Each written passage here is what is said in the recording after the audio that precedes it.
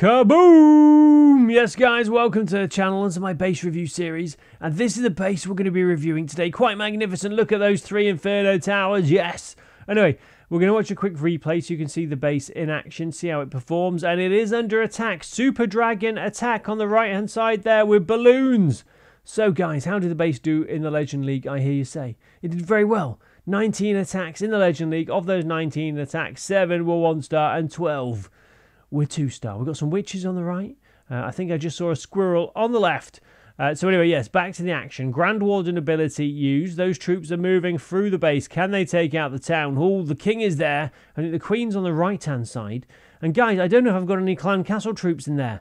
It seems to be rather quiet. Nobody has emerged from the clan castle yet. Hello, guys. Is anybody in there? Uh, but anyway, yes, the town hall is not activated yet. The royal champion, enemy royal champion, making her way over towards it and there is a super dragon that I think is going to attack. There we go. The town hall has been activated. There's a super dragon there. It's going to be closed. No. The Grand Warden is being infernoed, and the town hall says not today. Enemy queen's there. And yeah, guys, is, there's no troops. Oh, there they are. Sorry.